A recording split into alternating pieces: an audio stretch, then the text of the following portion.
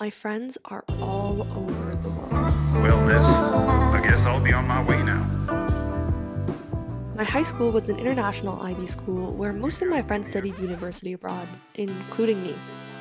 So, coming home can actually feel really lonely because most of them aren't here in the Philippines anymore. But sometimes I get lucky because my friends will come to visit me. Like now. Good morning. It is our first day here in Panglao in the Philippines. It's really early. It's like 8 a.m. We were going to go diving, so me and my sister, she still is, but I'm probably not because I woke up and I wasn't feeling too well. I was looking up like, oh, should you dive while you're fatigued? It was like, mm, maybe not. Yeah, I chickened out. To be completely honest, I have been a little scared of scuba diving. I think in general, I just have a maybe phobia of the ocean and it's totally irrational as many fears are, but I think the ocean is just so unfamiliar to me that it, it's, it's just the unknown the fear of the unknown. I really, really do want to explore the beautiful marine life I know exists here in the Philippines. But I think there's no need for me to rush into this. Anyways, I've got a few hours before my friends from Singapore arrive, so I want to share with you something I've been journaling about lately long distance relationships. And not just romantic ones, but also friendships. As an international student who studied abroad in the States, I knew I'd eventually go home after four years.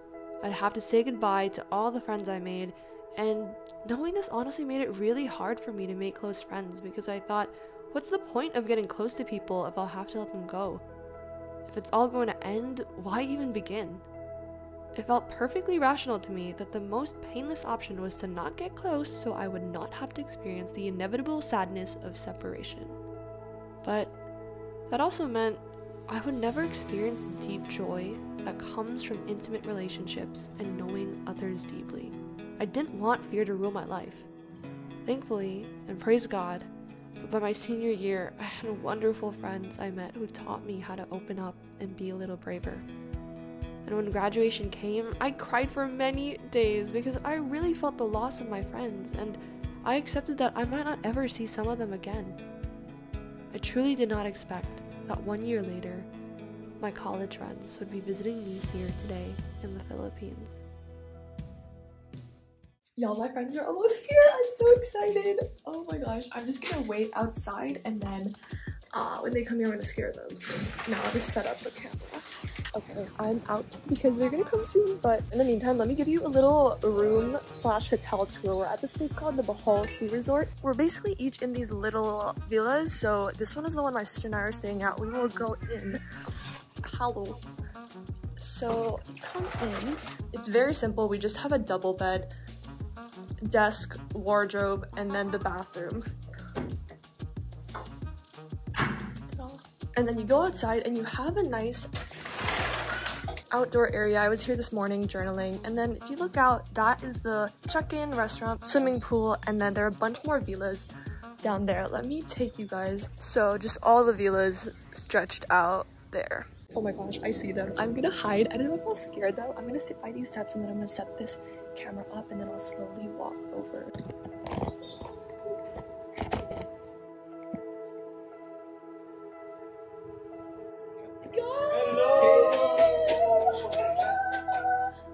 I saw you in that shirt. I was thinking, wear that every time. yeah. Let's check in.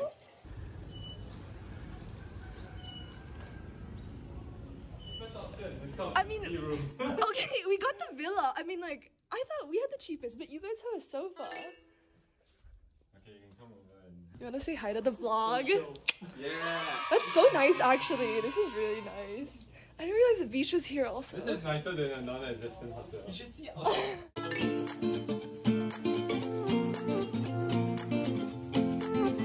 Thank you.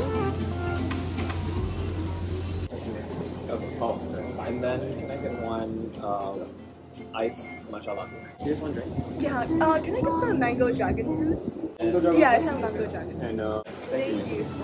Dalawa is two. Quick, quick Filipino. But you can get around pretty easily. Just, it's been easy to get around, like just. yeah. I think it helps that a lot of the English. Yeah, yeah, yeah, they do. Yeah, dude, it's like national language is English, and we're the third largest English speaking like nation in the world. Yeah. After lunch, we caught a tuk tuk to go to Napaling Reef to go snorkeling, and oh my gosh, I was so nervous. I just saw the vast ocean and the choppy dark waters, and I was like, um, are you sure that's safe? In the end, peer pressure. I'm just kidding. I got a life vest and pray to God, and we were off. It was beautiful. Hi guys, so I'm in uh, I'm at Alona Beach right now. It's, I know there's some music, there's some vibes going on here. I think this is a pretty popular night spot. It's pretty bustling. Uh, my friends went to go snorkeling. I am pretty tired from today already, so I'm just chilling, vibing at the beach. I ended up going snorkeling because I was like, you know what, I kind of want to check stuff out. So I was like, whatever. But I was so scared. Like my friends were kind of laughing because I was like, oh my gosh, the water looks so choppy. I I am just so scared. Like, are there sharks? Like, I don't know anything. But it was all fine. Like, praise God. Like, it was beautiful. We saw eels. We saw sea turtle. I'm happy to just have some time to relax a little and soak it all up. While my friends go snorkeling, let's continue our discussion on long distance friendships because this trip made me realize something ironic.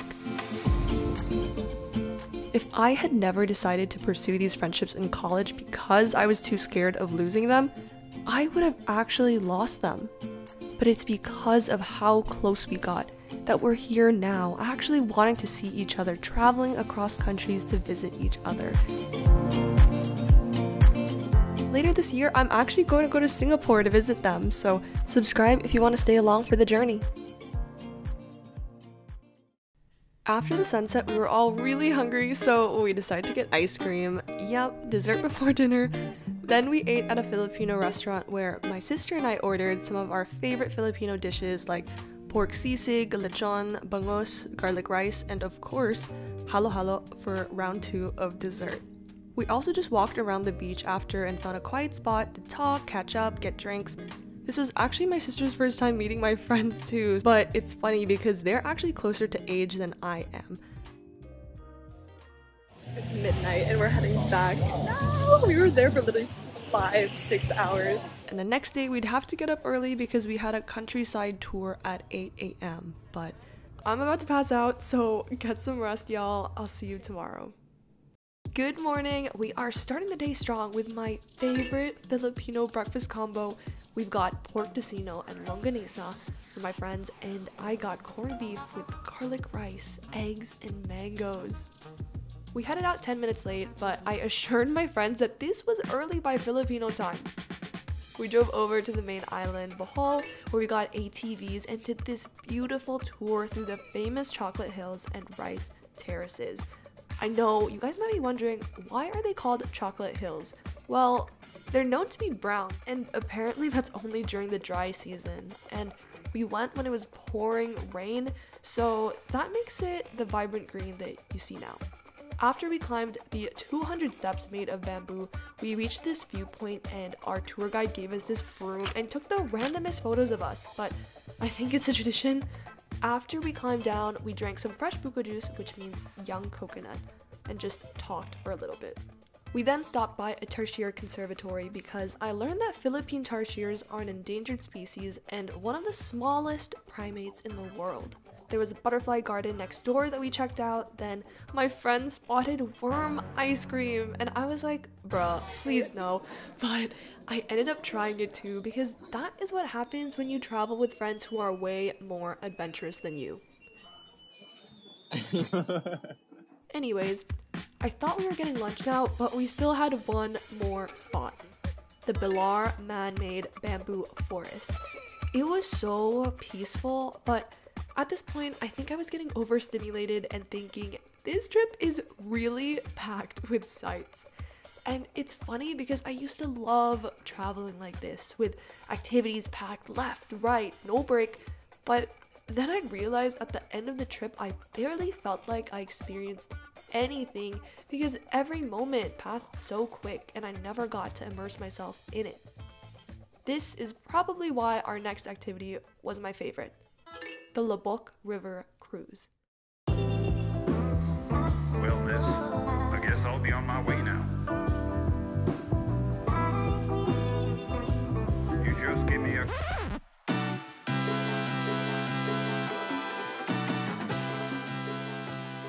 We just relaxed on that boat for three hours. We ate delicious Filipino buffet, listened to incredible live music from the 80s, tried Filipino dances like tinikling, and just bathed in the beauty of this jungle river.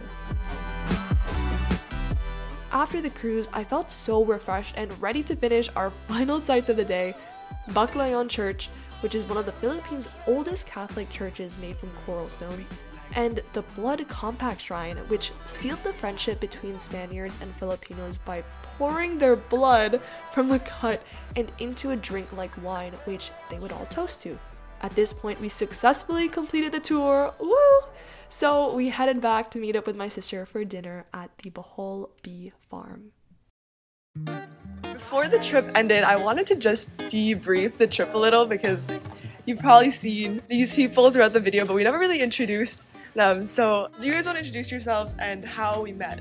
Yeah, sure. So I'm Josiah. I met Katie in freshman year during during an entrepreneurship event uh, at college. I'm Zenas. Uh, I met Katie at a common class that we had uh, through a mutual friend.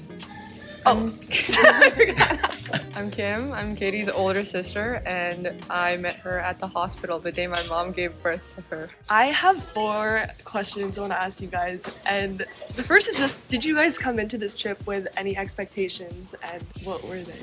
I think personally, I, I tried to minimize my expectations before any trip.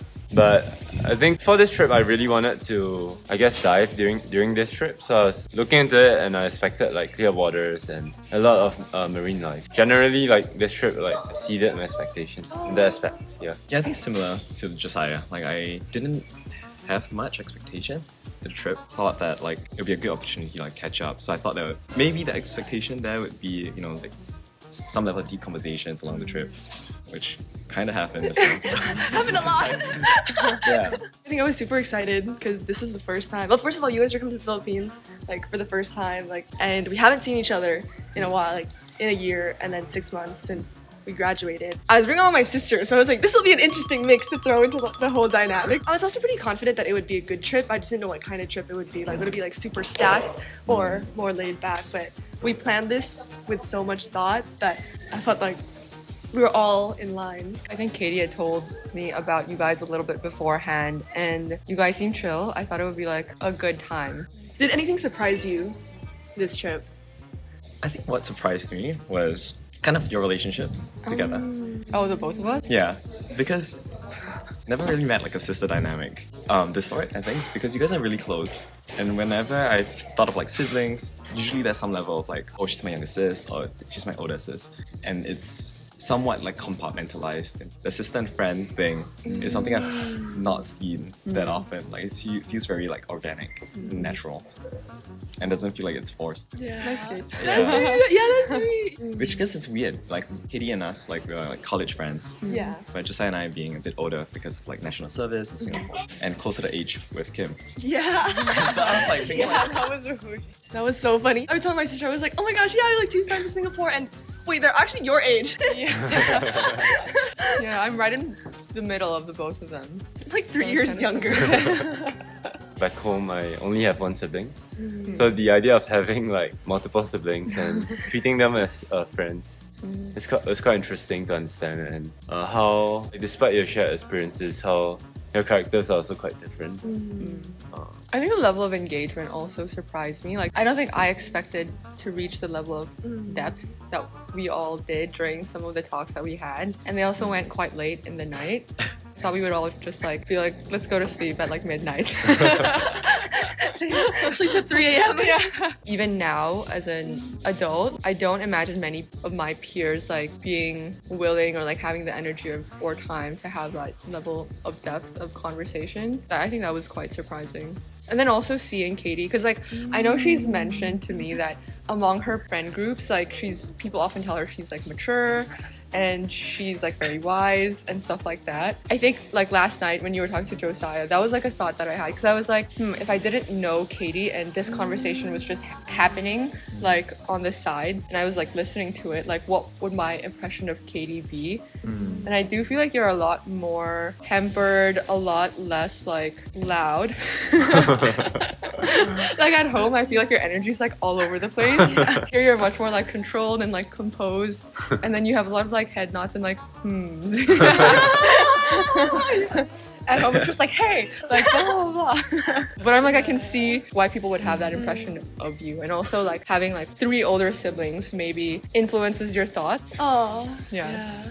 The last question is just then like overall with this trip, like how do you think we did with organizing it? If we were to go on a trip again, which I think we should, is there anything like we do differently? What went well? This is very retrospective. I think like it was pretty good that we had a call like earlier on, Yeah. early in the mm. process, right, to figure out our interests. I think we communicated mm. our desires well, so that like no one was disappointed. Like you know, no one like really bottled up their emotions or their preferences. So I mm. think I really like that transparency.